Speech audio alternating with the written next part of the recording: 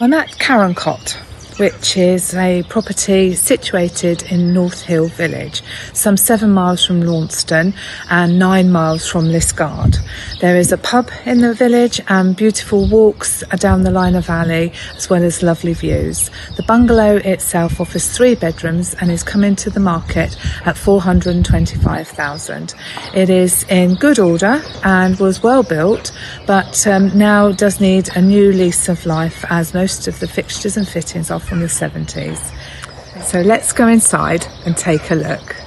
You can walk all the way around the bungalow and come to the back garden, which enjoys a shed, a patio area, lovely grass lawn, and a greenhouse. There is oil fired central heating at the property, so that's why the oil tank's there.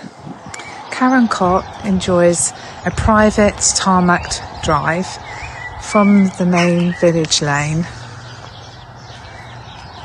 right up to being able to drive straight into the garage, which comes with an electric door.